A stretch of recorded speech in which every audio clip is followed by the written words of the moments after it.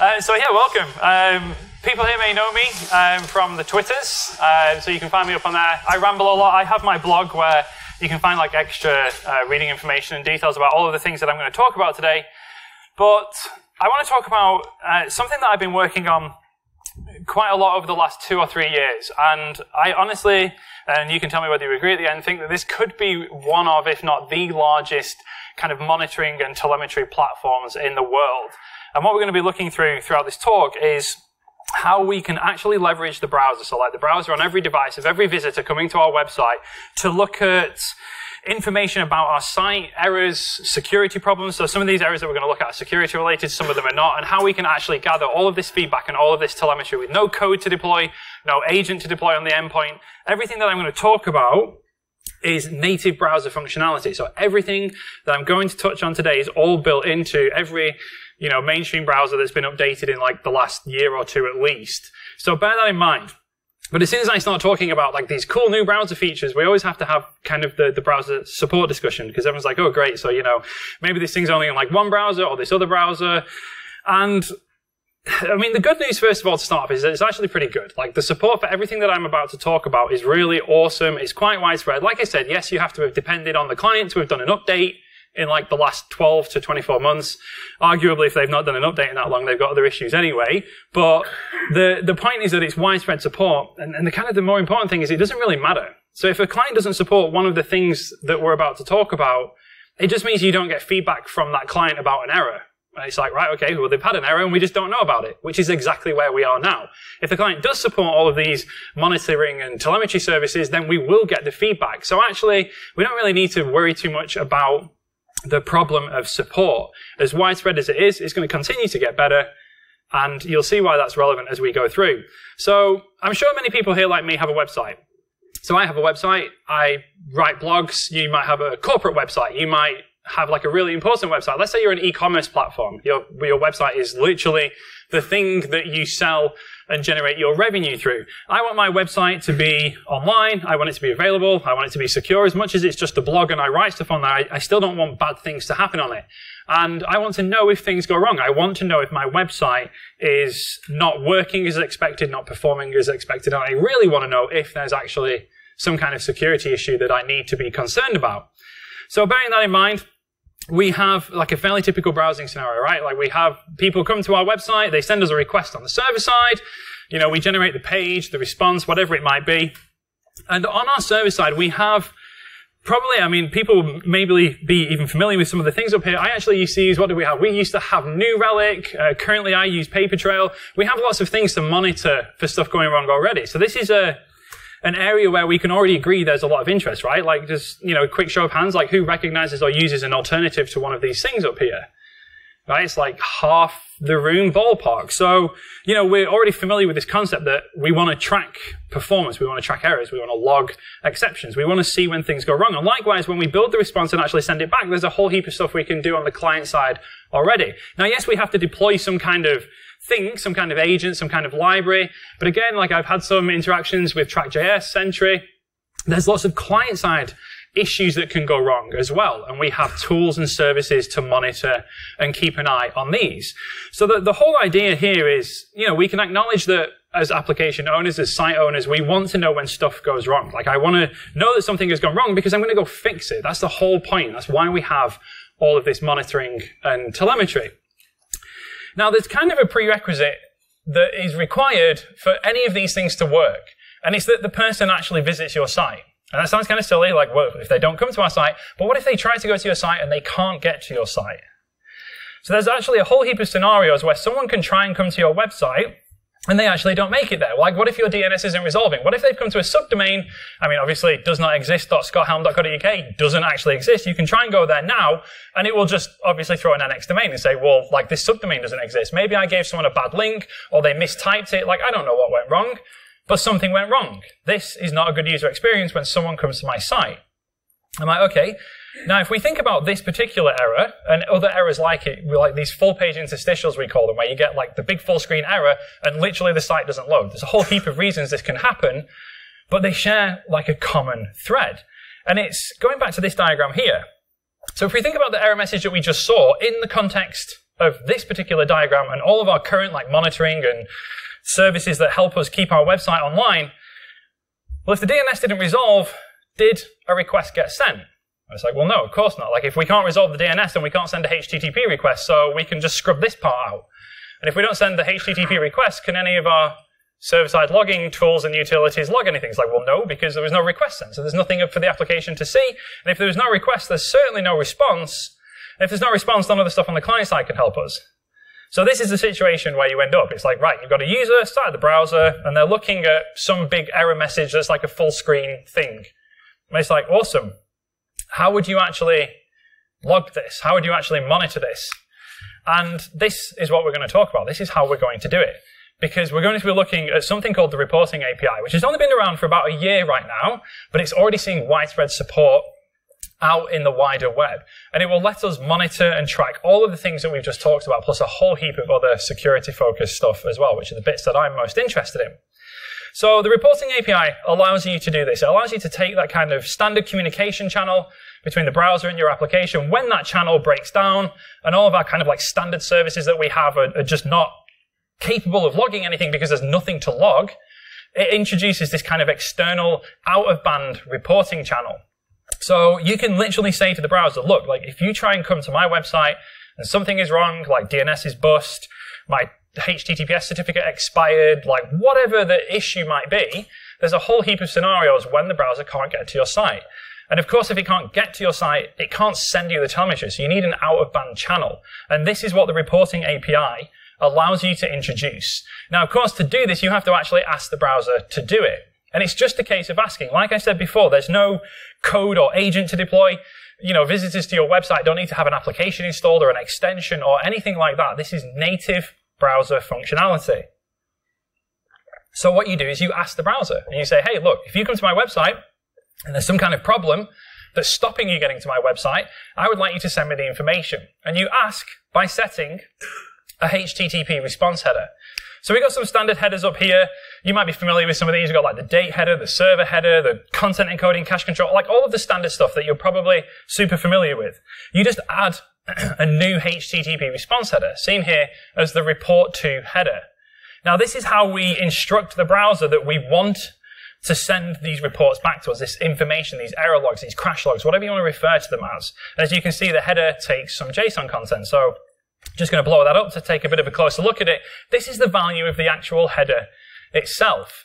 So a really simple piece of JSON, you just say, right, look, I want to subscribe for this information. I want you to send it to me. You have a group of reporting endpoints. These are the locations that it's going to send the data to.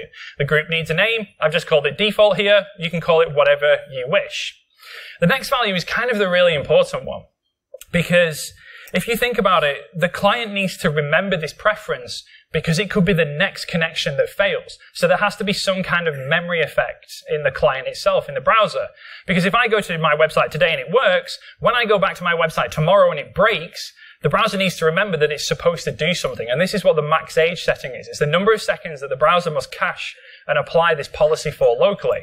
So it's like, right, I've seen this header, Scott's turned on these settings, and I'm going to remember and send these reports for the next one year, ballpark in seconds, that is. So I know that for the next year, if this browser ever comes back to my site and there's a problem, it will tell me about it. Fairly self-explanatory. Endpoints, just an array of URLs. Where do you actually want to send the reports to? These are just really simple HTTP post requests with a JSON payload. We'll go take a look at one of them in a minute. So it doesn't need to be anything particularly fancy on the receiving end, just something that can ingest and process JSON. Include subdomains again, does what it says on the tin. I apply this policy on like scotthelme.co.uk. Do we want to also have all the error reports for all of my subdomains? Yes, I do. Set it to true. If you just want it on the domain that set the policy, you would set this to false. So this is, this is the basic of setting up the reporting API. This is giving the browser the piece of information on where to send all of these error reports when these things happen. The next thing that you need to do is then tell it like what kind of things do you want to know about because this is just where to send the stuff. Now you need to say like what stuff do you want? And the most powerful one and the one that I've been spending a lot of time working on recently is something called network error logging. Now, NEL, as we just kind of abbreviate this to, is NEL is super powerful and super underutilized as well, actually. Looking at all of my data of all of the sites out on the web, there's really not many people leveraging this. The, the NEL reports are broken down into several different several different phases, as we call them, like which part of the connection to my site failed. So we have obviously like first of all DNS. Basic, basically punch in like scotthelme.co.uk. The first thing you've got to do is a DNS lookup. And it's like, right, okay, did it work? Has the address changed? Did we get an NX domain like we just saw a couple of slides ago? Maybe, you know, you've got a failed DNS lookup because your DNS provider is bad or, you know, whoever the user's DNS provider is. But if something goes wrong at the DNS stage of making a connection to the site, then you can get error reports about this. This is also, by the way, not an exhaustive list. I've just cherry picked like what I think are some of the cool ones. But okay, let's say we make it through DNS. What's the next step of the connection? Got to go through TCP. Turns out a whole heap of stuff can fail there as well, right? The TCP connection might time out, the server might close or reset it, refuse it. Could be an invalid IP that you're resolving, so there can't be a TCP connection. Again, like if any of these things happen, the client isn't going to make that connection to your site. And I would like to know about all of these. But then, and this is like for anyone that follows me on Twitter, you'll know that I'm super big on TLS and crypto. We have a whole heap of stuff that can go wrong in the TLS space as well. Now, the really interesting thing for me about this one is that a lot of people are migrating their sites from HTTP to HTTPS at the minute. And it means it's, it's kind of like their first foray into using certificates and TLS configs. And there's a whole ton beyond this list here of stuff that you can get wrong. And my favorite one, kind of like down here somewhere, where is it? Date invalid. My certificate expired. It's like, hey, I bought this thing like two years ago and the person that bought it and installed it has left the company and it expired. And it happens all the time. But again, if a client goes to your site and, and like your cert has expired, they'll just get a big red, everyone's seen one of these, right? Like you get the big red error message on the screen and it's like, great, they just sit there and you don't know about it until sometime later. So I would love the browser to tell me, hey, if you come to my site and I've got like an expired certificate or an invalid cert or I've screwed something up, tell me. And these are all of the types of things that you can subscribe to. But the same they make, you know, DNS, TCP, TLS all work, we get up to the application layer, there's still stuff that can go wrong there as well. Arguably, you might have some indication on the server side by the time we get up to the application layer. But again, you know, maybe you're sending bad HTTP responses. There's one down here that I see a lot. I don't know why. HTTP redirect loop.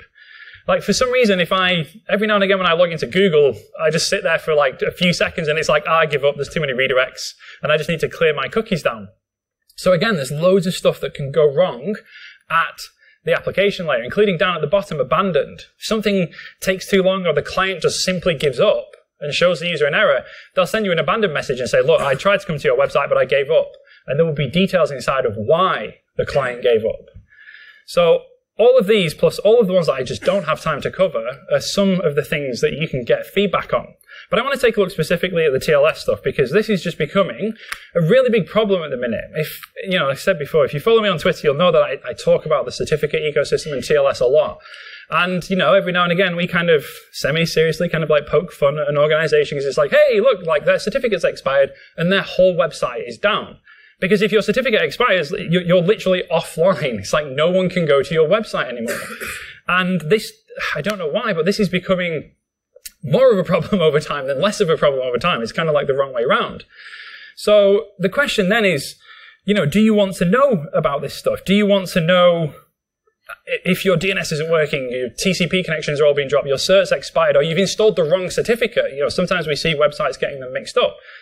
You just have to ask the browser. So the browser now knows where to send the reports, because we specified that in the report to header a few slides ago. Now you need to say, okay, I would like these network error logs, please, because these are fantastic. So you issue another HTTP response header to say, yep, I would like network error logging to be enabled. I would like you to send the reports to the group name default. So report to the default group because that's the name that I gave it. And again, how long would you like the browser to remember this? Because the browser has to remember it. Because if I go to your website today, I will see the policy I go to your website tomorrow and you've made some mistake, that's when it needs to know this information. So there has to be that caching and memory effect for the client to be able to apply and do this on an ongoing basis. And that's it. So that first header, report to, that's where they go. The NEL header, so far we've subscribed to network error logs from the browser. And then it will just simply send you them. And they just look like this, as I said. It's a pretty simple JSON payload sent as a HTTP post request. And that's it. As soon as you hit the error, the browser will send this report. Now the age is how long has the browser cached it before sending it? Because maybe the browser isn't online right now. Maybe there's some kind of network condition that's preventing it. So the browser might hold on to this report for a small period of time and send it later. So the age indicates, you know, if you get a report in, it'll be like, oh, actually, this happened like four minutes ago, not right now. So the age is quite important. It's also good because it means the browser will cache up these reports and send them to you when it's online, so you won't miss anything. Then we've got the type. So we're going to see a few different types as we go through. Right now we're talking about network error logs. So you see network error as the report type. The URL, where was the user trying to go when this particular error happened? And then the body of the report itself. Now, the sampling fraction was something that we learnt the hard way, and previous features like the ones that we're talking about, there was no ability to downsample. So if you're a website that gets like 50 million visits a day, and you have an error, like every single one of your users is going to be telling you about the error, and you're like, whoa, okay. You know, we only need like a, a small number of people to tell us that our website is down. So now with the sampling fraction, you can just kill that right down. And if you go look at mine, my sampling fraction is one tenth of a percent because I don't need like this rush of a million people telling me like, hey, your certificate expired. It's like, great. I only need 10 of you to tell me. So like, let's just back that off. So sampling fraction is really good. Uh, things like referrer, um, the server IP protocol, if like this particular error, if, you know, if no connection is made, then some of these values will obviously not be populated. It depends on whether or not the actual connection and the request was made. Method, it was a GET request. Status code was zero because nothing actually happened. So there can't be a status code because no HTTP request was made. And then you can see the elapsed time. It took the client 92 milliseconds from the start of the action to the error. And the type of the error, tls.cert.date invalid. So you can see that this user tried to navigate to my homepage but couldn't get there because my certificate was expired. And as soon as they load that page and as soon as they get that error message, just completely transparently, invisibly in the background, the browser will fire that post request. As long as I'm sat listening at the endpoint on the other side, I can know about it as soon as those reports start coming in. But we have had the ability to monitor for things like this before. We have had the ability to monitor for things like certificates expiring. And it has happened to some really big organizations. You know, this isn't just like small people having their first foray into certificates. Like really big organizations sometimes kind of come unstuck because certificates expire. And when they do expire, they generally cause like quite significant outages. So the, the kind of the, the normal thing that we depend on up until the introduction of NEL, we did have a super reliable mechanism for telling us when our site was broken. Anyone hazard a guess? Twitter, whoever said that, you're right. Like the number one reporting mechanism for things like this, like your website is catastrophically broken. Where do you find out first? Well, ask your social teams, right? And go check your Twitter handle because you'll probably have loads of people telling you about it. Now, this is really not the way that I want to find out if something is catastrophically broken on my site. My website is just completely down and unavailable. We really don't want to depend on people on social media, but it's okay because like social media teams already have some like really good answers and helpful things. They were here. It's like, could you please try using a different browser? It's like, uh, oh, the cert's expired. It's out of date. But like maybe if we open Firefox, we can go back to yesterday and everything will be okay. Like, I don't know. So you know, it's, it's not the way that you want to find out about it. And outside of actually asking the client, it's kind of difficult, right? Because you just have to have some kind of external service connecting to you from all over the world, monitoring everything on your behalf. And, you know, there's obviously going to be a finite number of monitoring stations and how frequently they can monitor you and all of these kinds of things. It's like with the client, when you're doing it with the browser, it's like the first one that sees the error will send the report. And that means that every single one of your visitors to your site is, is some kind of like monitoring telemetry endpoint. You know, they're, they're basically checking your site for you as they visit and browse your site. And this is the thing that I love about NEL. We don't have to deploy any infrastructure or sign up to any stuff. You just say like, hey, browsers, like if you come back tomorrow and everything's broken, tell me about it. Awesome. So just to show how bad this problem is, um, I'm going to refer to some data from one of my other projects. So I run a separate project called crawler.ninja. And if you've not seen this project, and I'll do this live, I'm going to do a live demo because these things always work so well when I do them. I literally set up my laptop when I got here and the Wi-Fi had like de-authed me and it's like, oh boy, I don't know why I'm trying to do this. But I run this project called crawler.ninja. And where are we? Here. So we're going to go take a look at this. And one of the things Uh, I mean, it's like super simple in principle, right? I take the Alexa top 1 million list. So if you're not familiar with it, it's the list of like the, the, the day's top 1 million websites in the world by traffic and a few other kind of ranks. So I take the 1 million list, I crawl through it and I look at whole heaps of different kind of security configurations on their site. What, what TLS protocols, cipher suites, have they got security features enabled or disabled? Like what's going on? And then the crawler just dumps out the raw data every day. So if you ever want to come and have a look, you can literally, I mean, zipped up and everything, it's like just shy of three gig a day of raw data. Um, and I also dump out like these raw kind of text files, which is just some super cursory analysis. If you just want like a quick reference on a particular metric. Now, I'll just zoom in a little bit for everyone there. One of the things that I dump out is a list of all the sites with certificates that are expiring in 24 hours or less. Now remember, this is from the, the point in time that the crawler observed it. So this is probably somewhere like UK time between yesterday late afternoon and, and kind of like 2 a.m. this morning, because that's the period where the crawler's like really getting into action. So you can come and find this list here and just be like, hey, all of these websites should have a certificate that will be expiring within maybe even a few hours of now. It's like Poker Discover. God, I did this once and it wasn't a great website when I landed there. it's like never alt F4 so fast in my life. Uh, so let's just have a look at their cert. So what we'll see is like, yeah, so they, you can see right there. If I just try, actually, let me just put my zoom tool on for everyone at the back. Zoom. So if I zoom in here, you can see that they've got a brand new certificate because it's valid from the 28th of August, which was yesterday. So they've literally got like right to the end and been like, oh crap, we gotta get a new one and drop it on. Sometimes you come to these and you open them up and they're literally down and offline. So let's find another one. Blowhorn, we'll skip past that. Uh, this is live. This is a real list. I have no control. Like, I'm not responsible. Um, O2 Start Trader. That sounds safe enough to open in a live demo.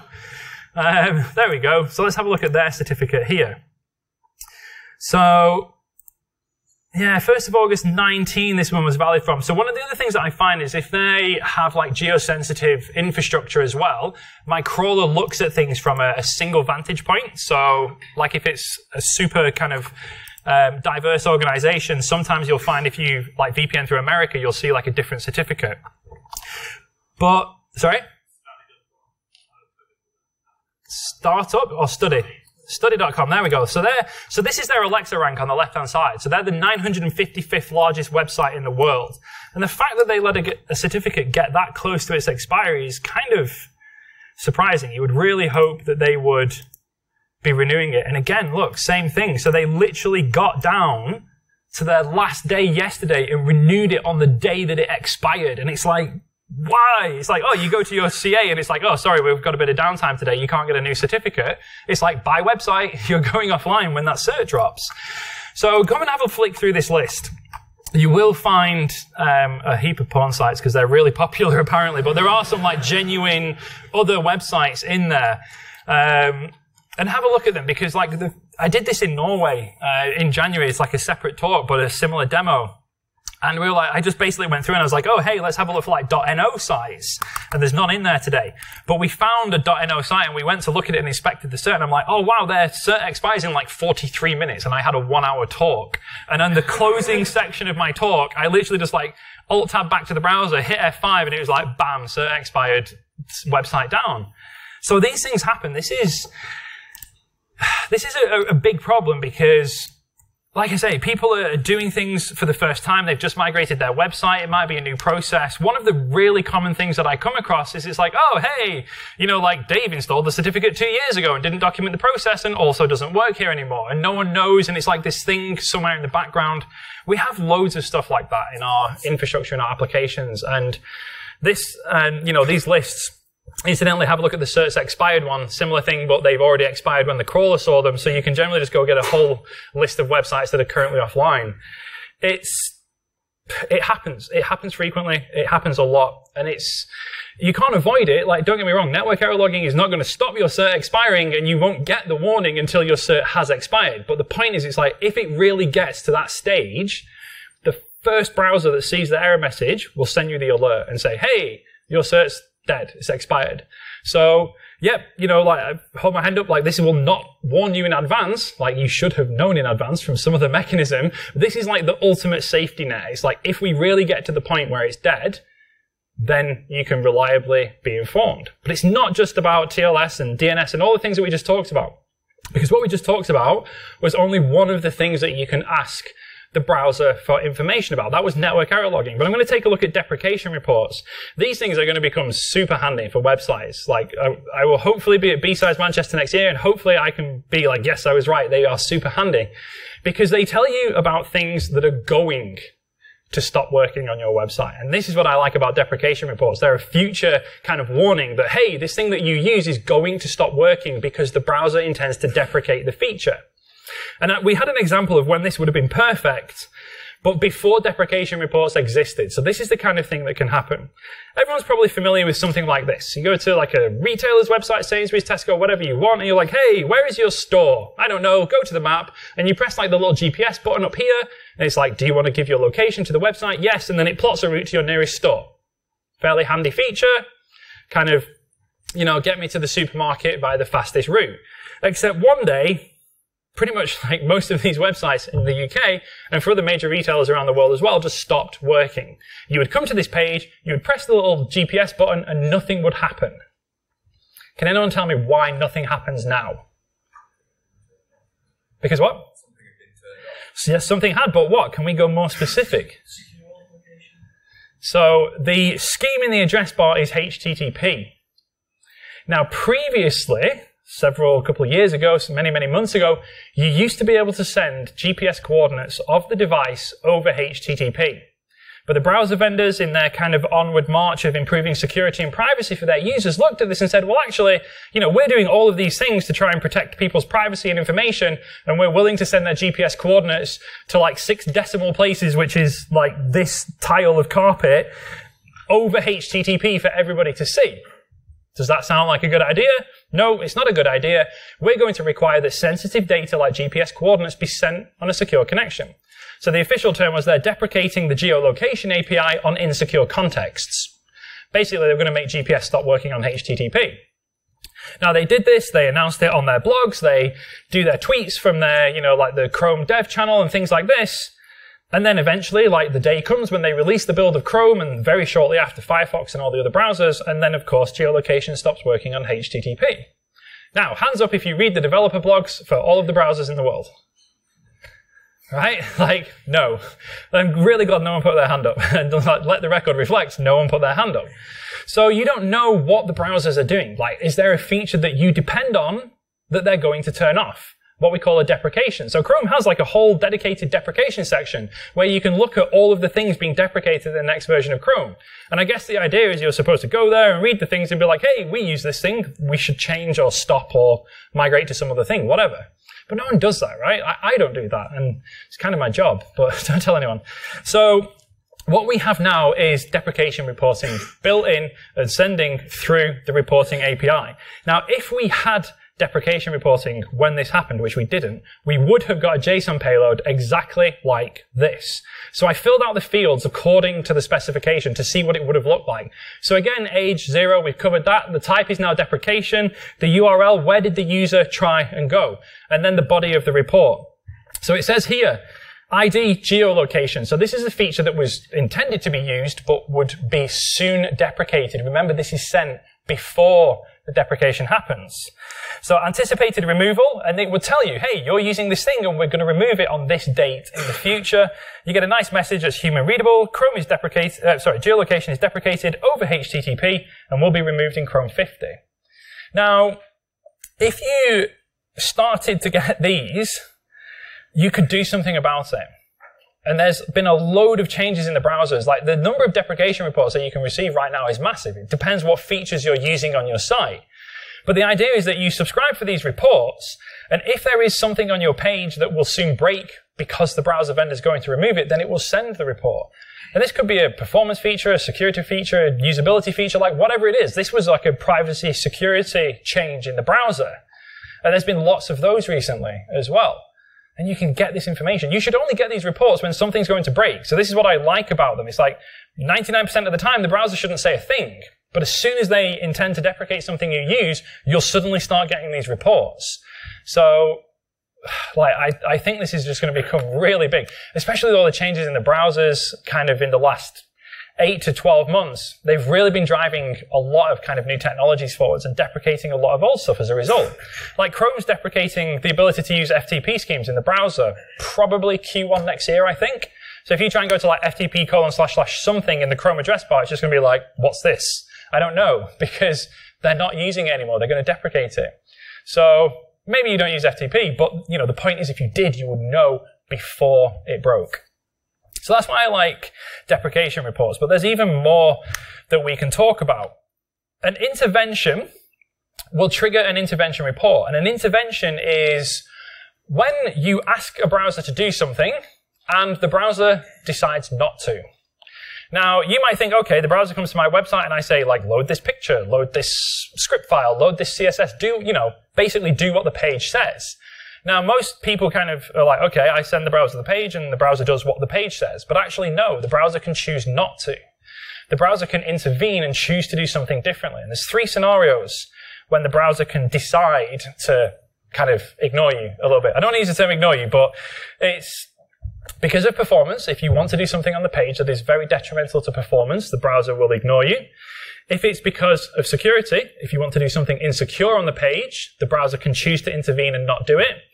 Or if it impacts the privacy of the user as well, the browser may step in and say, no, I'm not going to do this thing. Because remember, the browser is actually called the user agent. It's there to serve the user and it will act in the interest and on behalf of the user. So there aren't very many scenarios when you should be triggering intervention reports, but again, here is something that you might see. And I like, I'm so glad that they introduced this intervention because it was massively annoying. You have like, if you're like me, you've got like 47 tabs open in your browser and you're like, which bloody one is playing the sound? And you're like going through them all trying to find the tab that's playing the audio because some website reloaded in the background and now it's playing some annoying advert sound that I didn't ask for. So we get a, an intervention here. Again, age zero type is now intervention. You came to my website. The ID is audio no gesture. And it says in the message, a request to play audio was blocked because it was not triggered by user activation such as a click.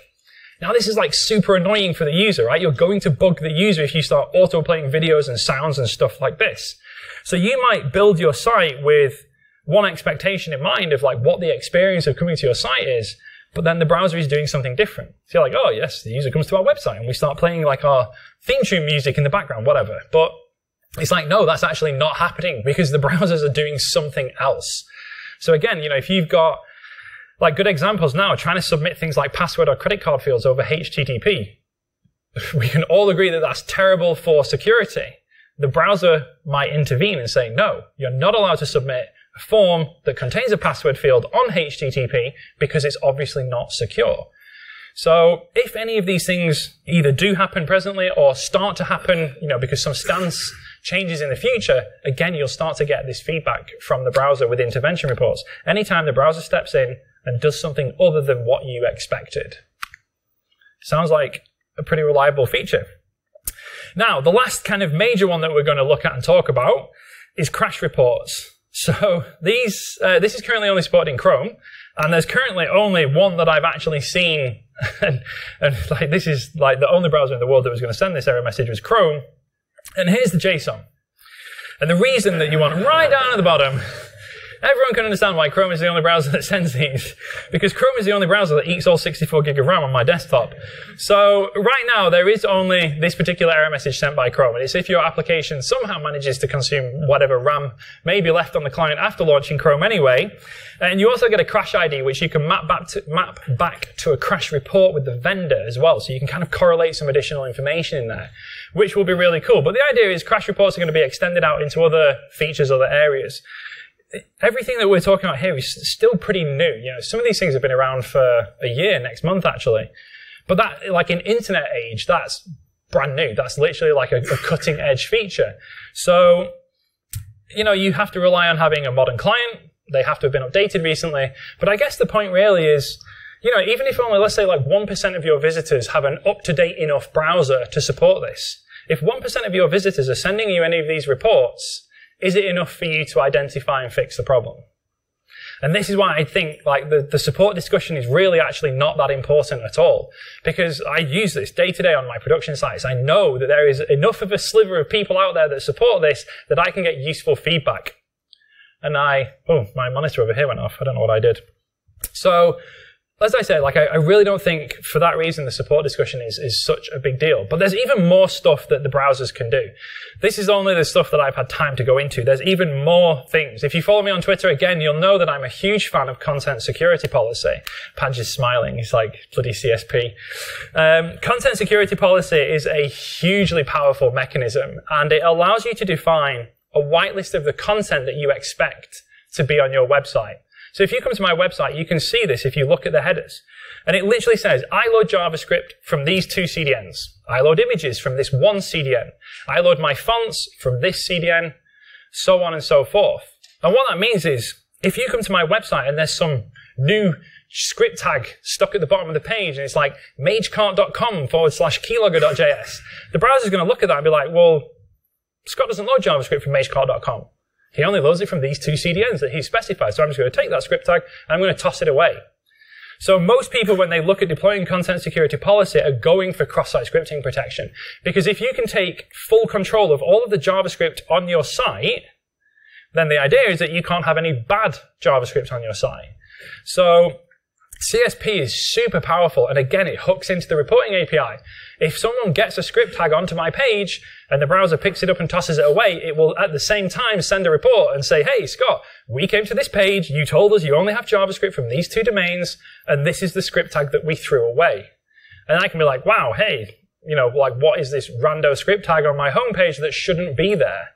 So that is a super powerful one. This is the number one use of the reporting API. So I run a service that collects the JSON for people, and this is literally by far like the number one thing that people are collecting reports about.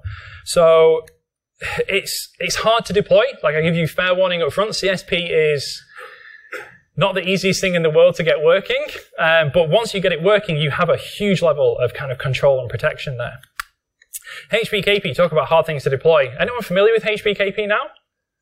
No, so this this is being deprecated in Chrome already, and probably before the end of the year in Firefox. So actually, very soon I'm just going to delete this orange box and have a space because it's just such a powerful mechanism, and it's so complicated to deploy that people deployed it and got it wrong and actually broke their website. So HPKP allows you to say, look, these are the encryption keys on my server.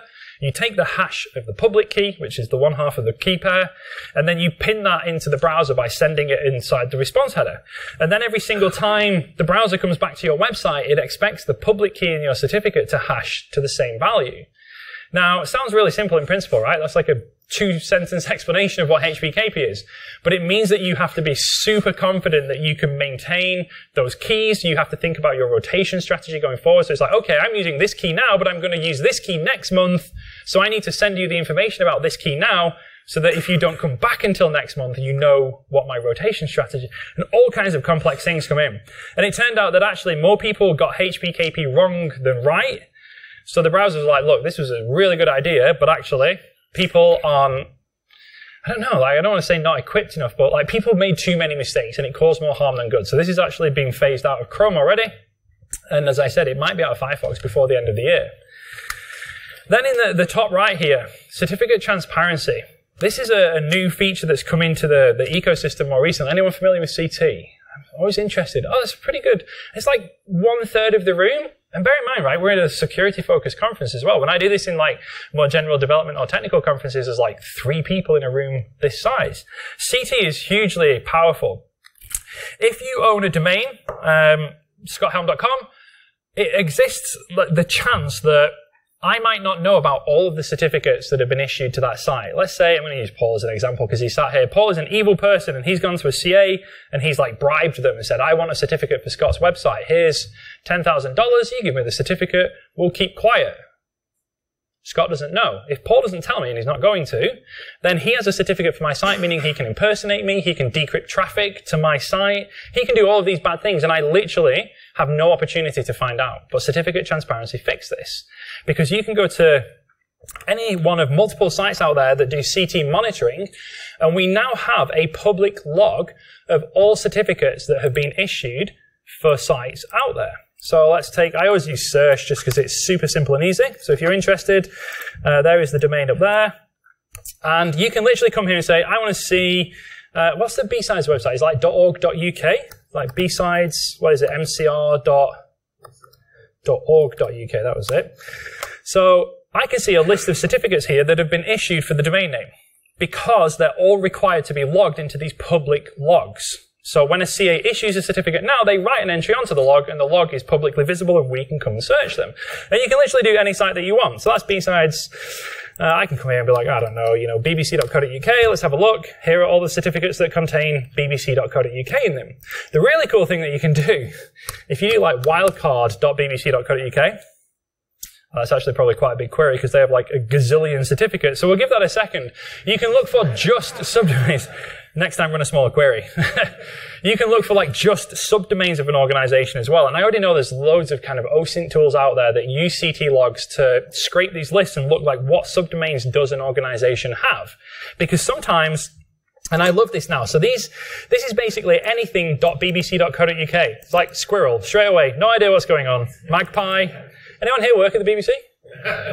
no, we'll keep digging. Um, so, you know, it's like Buzz, CMS. I, anytime I see like test or dev or something in a subdomain, like I found countless Jenkins environments just exposed to the internet because they're on like dev.company.com or some, you know, like dev1234. No one will find this. It's like, oops, it's a new certificate. So you just come through here and just like grab one. I don't know, just like see what it does. Maybe we'll find so like some account.test.domain. So you can come in here and, and find like really interesting stuff about your. Does anyone want to give me their company domain? Come on, someone be brave. Anyone? No, no. One literally, everyone's like, nope. so, so this this itself is certificate transparency, and the thing that the browser can tell you here is that for a, a, certificate to be what we call CT qualified, when a CA issues a certificate, it must go into at least two of these independent logs to make sure that there's at least two known instances of it. So we call that CT qualification. For a certificate to be CT qualified, it has to go into at least two logs. Now, the browser will know if it hasn't. So the browser will come to your website and it'll be like, hey, like, there's no proof that this certificate has been logged publicly. It could be like some secret backroom deal. Might have just been a mistake, whatever. But it hasn't been written into these logs and we don't have any proof of that. So the browser will actually reject it and say, well, look, I don't know if this is like some dodgy certificate, so I'm just not going to accept it. So again, you can ask the browser and say, look, if you come to my website and for some reason you're going to reject my certificate because it's not CT qualified, Tell me about it. And the browser will not only tell you about it, it will actually send you a copy of the certificate as well and say like, hey, we found this certificate and we don't believe it's CT qualified because maybe there's only one log entry or there's none or, you know, whatever it is. So again, it's a, a scenario when a user can come to your website and hit some kind of security issue that previously you wouldn't have had any real hope of learning about. Down in the bottom left, feature policy. Another powerful control feature that you can have. Like browsers nowadays have got so many APIs that expose so much information. We talked about geolocation uh, just a few slides ago, but you can access the camera, you can access the microphone, you can access local media like pictures, videos. There's a whole heap of stuff that you as an application in the browser can request access to on the system. And Unfortunately, like as those things become available, people start to abuse them. So feature policy allows you to control them. So if, for example, on my website, on my blog, I don't need access to your camera or your geolocation or your microphone or anything like this.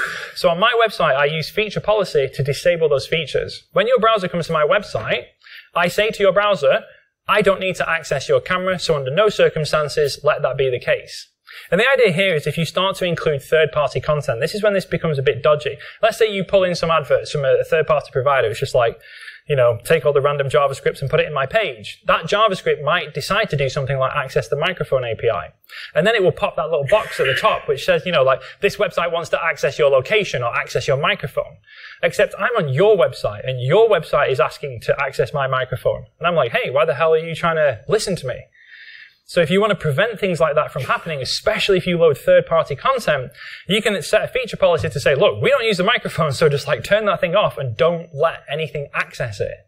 So a feature policy, again, super powerful feature, and again, you can get feedback from the browser.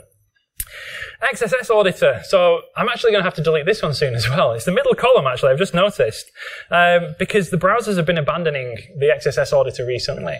It was like a built-in filter in Chromium where it would try and detect a cross-site scripting attack. So if the browser saw a script in like a get parameter, like a query string parameter, and it saw a similar or the same script in the page somewhere, the browser might look at those and think, hey, this could be a reflected cross-site scripting attack, and it would either try and filter the script out of the page, or in some scenarios, depending on the settings, it would just outright refuse to render the page because it's like, I don't know, you know, whether this is whether this is an attack or not. Now, the XSS auditor uh, is currently being deprecated in Chrome. I don't know if it'll actually be gone. It might already be gone. What version of stable Chrome are we on right now? Don't know. Like 75? 76? So the auditor might actually already be gone. So it turned out that this is a huge amount of code to maintain. The auditor wasn't perfect. It could be tricked. Um, but when it did work, you could say to it, look, again, if you, if you think there is an attack on my page, so much so that you're taking action and refusing to render the page or you're slicing content out of the page, please tell me. And you can say to the auditor, look, if you do this, send me the payload. The really cool thing about the auditor reports, and bearing in mind, we're still going to have old versions of all browsers around for like ever, so you'll still get these reports, is they actually send you the attack payload. So if someone is trying to pop cross-site scripting on your site and they're triggering the auditor, the auditor will send you the attack payload. So you actually get a copy of it as well, which is kind of nice. I've found some very interesting things in my logs with that in the past. And then last thing, OCSP. Anyone familiar with OCSP? Apart from the people that work at CAs. so the online certificate status protocol is when you get a certificate for your website, you may someday lose it. Someone may steal your key from you. You may be compromised. Heartbleed version 2 might come along. And we have this thing called OCSP, which is like the most unreliable mechanism we have. But we had something called OCSP stapling, which was a really good privacy and performance feature. And every website in the world should support this. So if you, if you have a certificate on your website, which hopefully you do because it's 2019, then you should have OCSP stapling enabled because it will improve the performance of your website and it will improve the performance of the visitors coming to your website. If you're not familiar with that, again, I've got a blog post that explains all of the details. But the point is you might have this feature turned on on your website and say, look, we should have this feature turned on, but maybe someone broke the configuration. Maybe there's a problem on your server. Maybe for some reason this feature isn't working as intended. Again, you can say to the browser, look, when you come to my website, I should have this feature turned on. But if I don't, I would like you to send me a report and say, hey, I just came to your website and for some reason you didn't send me an OCSP staple because something is broken, turned off, someone flipped the wrong switch. Like, I don't know why, but the point is it stopped working and the client can get in touch with you and tell you. So those are just kind of like all of the main things. I want to spend, I've got about 10 minutes left, so I'm running pretty much on time. I just want to do a couple more demos of a few of the features that I've just talked about, and then I want to open it up to like a, Q&A. So we're going to try, going to try and do some live demos. So I tested these about eight times today, and they all worked. Now, what we're going to take a look at, let's close all of these ones from earlier. First of all, I want to try and trigger a NEL error. So we looked at NEL before, network error logging, and I said, I gave the example of the does not exist. So does not exist dot scotthelme .co.uk, and we should get a nice DNS error. So if you have a phone, a tablet, a browser, whatever, open up your device now, because we're all going to do this all together. And I want you to just make, first of all, I want you to make a request to my site. So go to scotthelme.co.uk. This is not just to bump my visit account.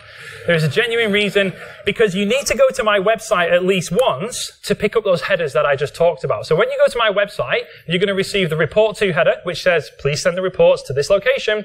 And you're going to receive the NEL header, which says, I would like to get these error reports. I'll just zoom in. Sorry for people way at the back there. So to scotthelme.co.uk, when you visit that page, that will set those two policies in your browser and say, Scott would like this information.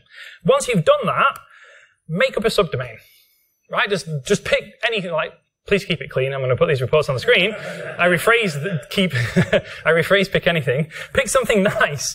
So you can just do like, you know, lolwat.scotthelme.co.uk and you should get an error message like this. And what your browser will do in the background, assuming you're using at least a recent-ish browser, which we should because we're all security people, then your browser will send that report in the background to me. And what I'm going to do, like once I've done all of these demos, I'm going to go look at them. So hopefully we'll have like a whole collection of non-rude words in subdomains. I've just realized how terrible this plan is. like, oh crap. So, so that's the first one. So this should trigger a whole heap and, and bunch of reports from everyone in the room. Now, whilst they're all being sent and everyone's kind of messing around with this, I just want to show a couple more bits as well. So one of the things that I want to show is CSP, because I do think that this is actually a really powerful mechanism that I know based on my own data is very underutilized. So on this page here, I'm just going to inspect the source of this page. And you can see I've got this script tag here. So that's just the code view on the page. But if I actually come down here and I'll zoom in for everyone, you can see here in the DOM, it's syntax highlighted. This is an actual script on the page. Also, the page is live, so you can literally go to this page and see that I'm not making this up. So there is a page, and it's got a script tag, and it's loading from evil.com slash keylogger.js. Now, we all as people in this room can look at this and be like, duh, no one wants this to load. But the browser lacks that context. It doesn't know what evil.com means and what keylogger.js means. It's like, I just go to the source attribute and fetch all of the JavaScripts and put them in the page. Now, because I have a, a content security policy on my site, if we take a look down here, you can see that I've actually already got an error in the console on this page. So if I just click over and take a look at that error, you can see that I have this particular error message down here. Refuse to load the script because it violates the following content security policy directive script source. And you can see there, that is the actual list of locations that I expect my page to load script from. So I've got, you know, like Twitter embeds, YouTube, bit of Facebook stuff. I've got a Disqus comment system, things like that. But the point is that evil.com is not one of the locations that I expected to load JavaScript from. So the browser has seen the script tag, picked it out of the page, tossed it away, and as we'll see in a minute, sent a report. So it'll have sent me one of those JSON reports that we talked about. And it's not just about fetching stuff. You know, like you can control scripts, styles, images. Where do I, what we commonly refer to as the fetch directives, where do I fetch stuff from? But what about where we send stuff? Let's say this is the actual login form for my site. And again, I'll inspect the elements so we can see that there's no funny business going on. Close the console. Where are we? So form action just here. So here is the form on the page. Action, evil.com forward slash stealpassword.php because hackers write bad code. It's, I'm a PHP developer. I can say that. It's okay. But I think we could all agree that no matter how this form got there, maybe it's a disgruntled employee or someone's found like a HTML injection or whatever it might be, we don't want that form to submit. If this is, especially if this is my login form. So I'm going to put my username and password in. And I'm going to hit the submit button. And nothing happens. But if we look at the error count in the console, it went up when I hit the button if you were paying really close attention. And what I can do now, jump back over to the console, take a look down here, refuse to send form data because it violates the following CSP directive, form action, self, and then Twitter because you can tweet from my site. So again, I'm telling the browser, look, when you come to my website, I only post forms to two locations and it's me or Twitter. Evil.com is not on the list, so the browser said, nope, I'm not going to do that. Toss that away. Send the report in the background. So there's a couple more things on the CSP demo page. You can go take a look at those yourself. But the last thing that I want to look at, and, and, again, like before I get started on this, full transparency, this is my website. And by my website, I mean like this is a service that I run. And I want to be completely open and transparent about this with everyone because we are a commercial service that does this. So I've been so heavily invested in this space for years now no one was doing this. And I'm like, if you want to collect these reports, like you have to go build your own thing. Like you have to ingest the JSON and process it and build the graphs and whatever. And I wanted to subscribe to them myself. And there was no service. I like hit Google, couldn't find it in like three minutes, which means it doesn't exist. So I decided to build one. So like full transparency, this is my website. But the point that I want to show you is just like how easy it can be to do this. You could just whiz up an ELK stack in like AWS and shove all of the JSON in there if you want to. So these are all of my actual live reports coming into my account. So first of all, I want to see this page. Let me just grab the path. I'm just going to filter out all of the noise. So I can say, right, show me all of the things that are happening on this page. Now, I've just done a very quick search for scotthelme.co.uk and the page that we were just looking at, and you can see that there's these two particular errors that have happened. One of them was a script source element. Actually, I'll just zoom in. How's that for size, everyone? Is that good? Enough. So here you can see we had a script source element, and this is the source attribute that was blocked. Here we had a form action, and this is the form action that was blocked. You can see down there are the JSON payloads coming through from the client. So you know, like if you want to look at the raw JSON for some reason, like you can do, it's all there, but you can go and dig into that data as well and take a look at it. And all of that happened transparently in the background. Like there's no JavaScript library on that page. I don't have a browser extension or some agent on my PC. Like all of this is done by just setting those headers because all of the functionality itself is in the browser. And this is what I want to show is how easy it is to leverage this stuff. So if I come down to like my NEL reports, so let's see what network error logging stuff I've got in the last hour. Is this we're looking at? Yeah. So about the last hour. Um, so hostname again, let's just filter out there's too much noise. So I just want to see the ones for my blog. So here we can see, I mean, I've got, should probably look at these. I've got loads of abandoned ones. Uh, HTTP error. So let's actually just look at, see if we've got any DNS. Actually, just go straight to DNS. So, oops.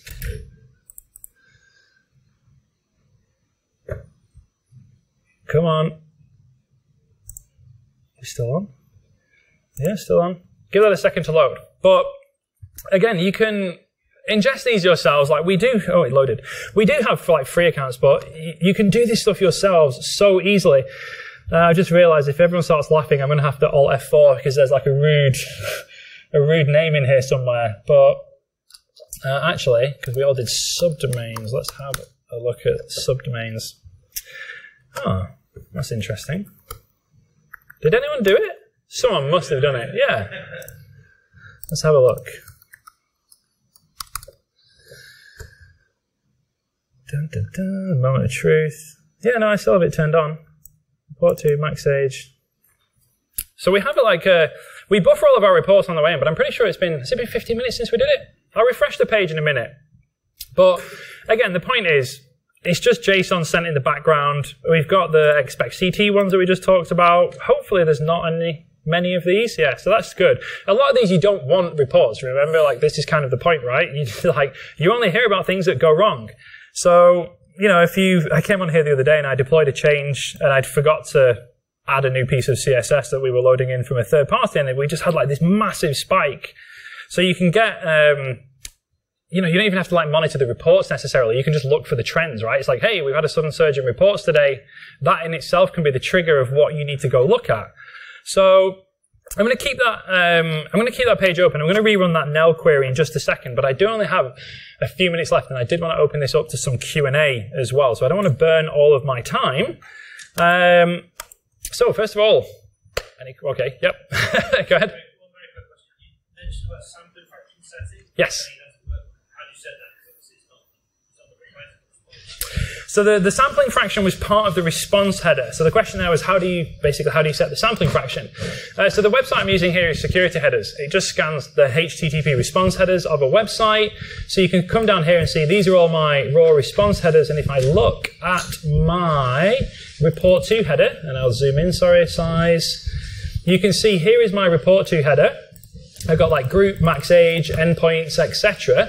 But I don't set it on my blog because I take 100% of reports, but I do set it on here. So you literally just put the value into the header, and I think we're taking like one, where is it, report to, oh no, we don't set it, we're taking 100% there as well. Wow.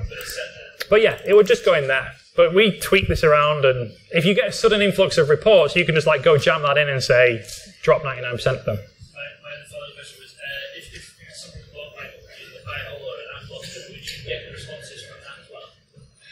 When you say response, sorry, just to. So, for example, uh, if you use the site description on a website, if, if someone was to log inside and give that just an you should get a response using this as well.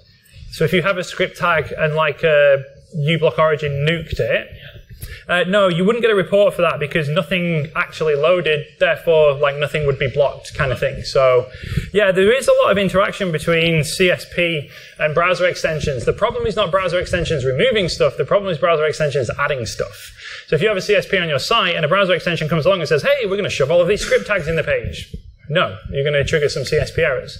The, the interesting thing about Report URI because we collect for many people, we can kind of see these like sudden spikes when some browser extension goes rogue and hostile and they start injecting like ads or keyloggers or things into pages. Um, so yeah, usually the problem is extensions adding stuff, not removing stuff. Sorry, Scott, we're going to have to cut you off there. Just- We done? Yeah, that's that's an hour. Um, Scott's going to be hanging around, you're right. I'm sure. My timer can't time because it says one minute nine seconds. No, it can't. Um, everyone, give it up for, for, for the beautiful Scott Helme.